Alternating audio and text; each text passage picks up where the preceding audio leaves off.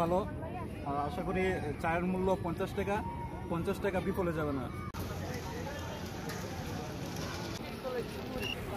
শুরু হয়েছে সিলেটে মাসব্যাপী বাণিজ্য মেলা। Sylhet metropolitan chamber of commerce and industry এই মেলার আয়োজন করেছে।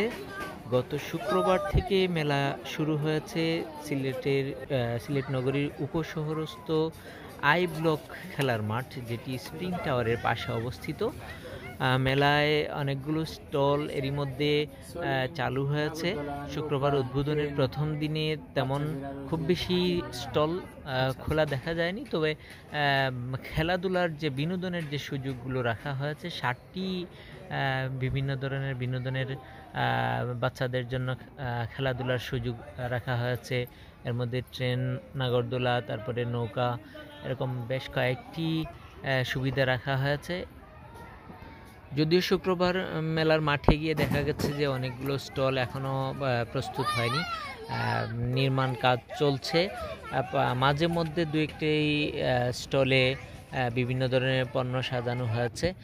সেগুলোতে ক্রেতা সাধারণের খুব বেশি ভিড় লক্ষ্য করা যায়নি। তবে বাচ্চাদের জন্য যেসব স্টলগুলো রয়েছে অথবা খেলাধুলার বা বিনোদনের যে সুযোগগুলো রাখা হয়েছে, সেগুলোতে অনেক ভিড় লক্ষ্য করা গেছে। পাশাপাশি আরেকটা বিষয় খুব লক্ষণীয় যে এখানে একটি চায়ের দোকানে অনেক মানুষের ভিড় আমরা দেখতে পেয়েছি। সেই ভিড়ের কারণটা এখানে পঞ্চাশ টাকা মূল্যে চা বিক্রি হচ্ছে এবং সেখানেই সবচেয়ে বেশি ভিড়। কারণটা হচ্ছে এটি ব্যতিক্রমধর্মী একটি চায়ের দোকান।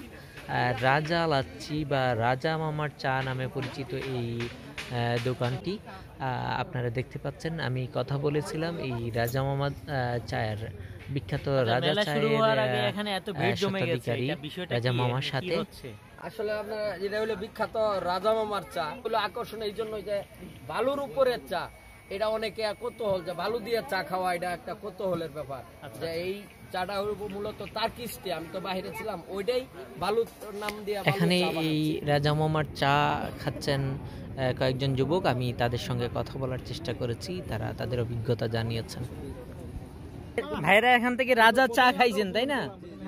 একটু একটু আমি কথা বলতে চাই। রাজা চা খেয়েছেন আজকে প্রথম এখানেই শুরু হয়েছে রাজা চা বিক্রি মেলায়। মেলায় এখনও আনুষ্ঠানিকভাবে শুরু হয়নি আপনারা এর আগে উদ্বোধন করে ফেলছেন। একটু বলবেন আমাকে যে এই চায়ের গুণ কি পেলেন? আপনারা খেয়ে কতটা মজা পেলেন? একটু যদি কাইন্ডলি বলেন। আলহামদুলিল্লাহ চায়ের গুণগত মান খুব ভালো। আশা করি চায়ের মূল্য পঞ্চাশ টাকা পঞ্চাশ টাকা বিফলে যাবে না একটু। কথায় অসাধারণ।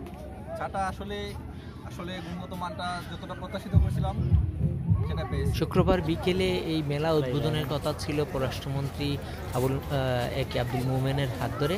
তবে তিনি আহ, আসেননি। পরে সন্ধ্যার দিকে মেট্রোপলিটন চেম্বারের নেতৃবৃন্দ মেলা উদ্বোধন করেন এবং থেকেই মেলায় ভিড় অনেকটা বাড়তে শুরু করে।